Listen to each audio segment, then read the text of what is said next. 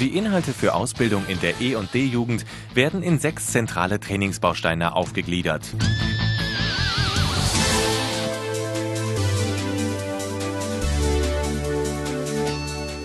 Das Spielen in der Manndeckung basiert auf einer intensiven individuellen Ausbildung, die in vielfältigen vorbereitenden Übungen in spielerischer Form erworben werden kann.